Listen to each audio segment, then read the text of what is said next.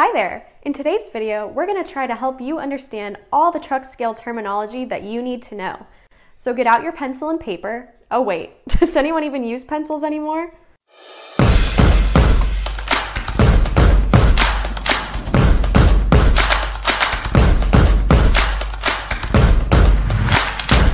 So let's say your business has decided to purchase a truck scale in order to determine accurate and reliable vehicle weight for your application. That's great. Understanding fundamental truck scale basics will help you know which questions to ask your local scale distributor to ensure you purchase the truck scale style that fits your needs with the options and accessories that can enhance your application. Whether monitoring a vehicle's weight for safety guidelines or to complete business transactions, you should know what the info determined by a truck scale means to your business. For example, gross weight is the total weight of the vehicle and loaded product. Tare weight is the weight of only the vehicle. Net weight is the weight of only the loaded product.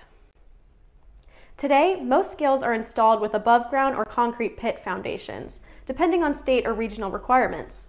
Scales can also be installed in a shallow pit as opposed to the deep pit required by older mechanical scales. A pit installation requires less space than an above ground scale, since longer approaches are generally required for above ground configurations.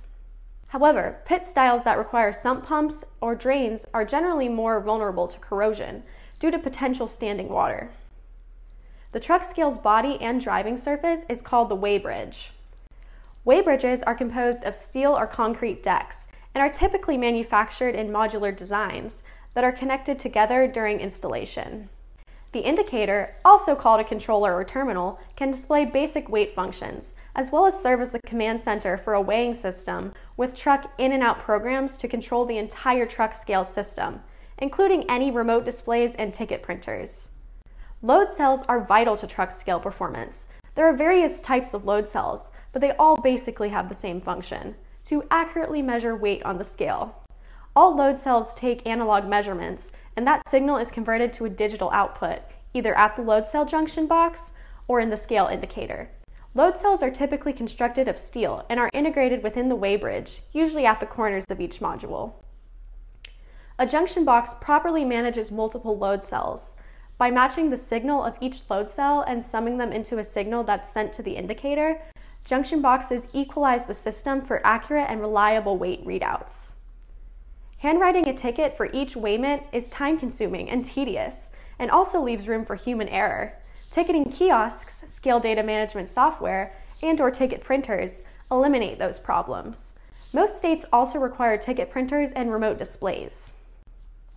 Well, there you have it. I hope we made all this truck scale jargon a little bit easier to understand. For those of you in the market for a truck scale, please do me a favor and hit that like button below. And while you're at it, why not go ahead and subscribe to our channel so you'll never miss another one of our videos. See you next time.